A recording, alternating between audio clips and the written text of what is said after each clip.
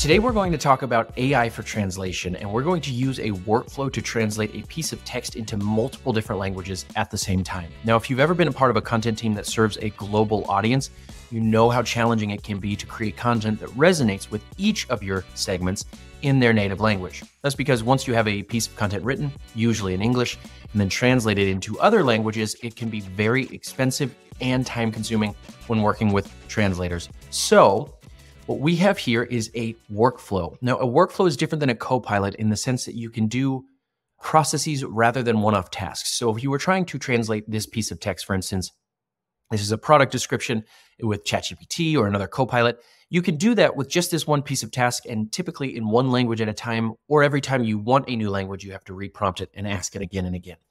What we've done is taken this workflow, I'll move my face here, and I'll show you how we built it. Very simple instructions written here in the text box. Given a piece of content in plain text or markdown, translate the text while keeping the original structure. You need to translate this to Spanish, German, French, Quebec French, Portuguese, Chinese, and I later added Latin just for the heck of it. So what we did here was took this, I've got a dog named Zoomer. I was looking around at products and I saw this product description. And let's say that I were in charge of having this product description on Amazon in many different languages.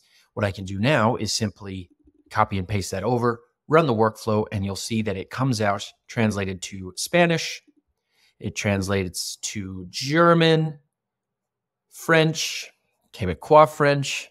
It will translate this to Portuguese, Chinese, and then Latin finally. Now you can change this. It doesn't have to be these languages. In fact, in any of these steps, if you wanted to change quickly, you could change that to Greek. I don't know why I'm going with dead languages. I guess you could do modern Greek. You could do any type of language here in that target language. It's a very simple action. But I wanted to take this a step further because let's say you're like me and you don't want to copy and paste over and over. So what I did was took this a step further. I duplicated this workflow, but I changed the inputs. Now the input, rather than just being a piece of text, it's a URL. So for this case, I used this URL from our website. And the first step is to scrape the web page, and the second step is to extract the text in Markdown and bring that back because then I can take this as the input for our translation and have it translated into all of those languages we just discussed. I can have it translated in Spanish and it comes out in Markdown in the same structure you can see. It's the same with German. And it's the same with French and Quebecois French. So what it's doing is rather than me copying and pasting the actual text in, I am copying and pasting the URL. Now, does this mean you don't need a translator anymore? No, of course not. You want someone who's native in the language to check this before you publish. However, there is a huge cost and time difference between hiring a translator to translate something from scratch and asking them to polish or check something for accuracy, a very big difference.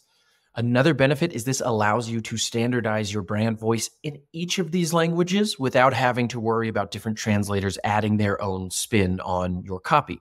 So, for example, you could, in theory, have a translator or a native speaker help you create your brand guidelines to how you want your brand to sound in Spanish. What colloquial phrases are you going to be using and in what regions? You could get as granular as you want, or you could keep this super simple and you could take all of your pages that you have Simply run the URLs through and have it translated into any piece of content that you need. And then with uh, a Zapier, a small integration with your CMS, you can have this sent back to your website and published. You can load it into Buffer onto your social media channels.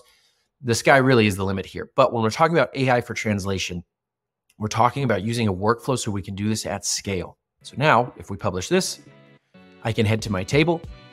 I can take a list of our URLs that already exist.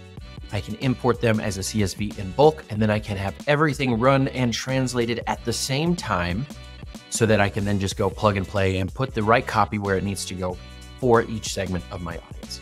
So this is how we envision AI for translation. We envision it being a much more efficient process. So rather than saying, hey, I need nine different translators for this piece of text, you can instead have this written out into each different language, and then have a native speaker check or polish it at a much lower cost and a much shorter turnaround time than having someone do it from scratch.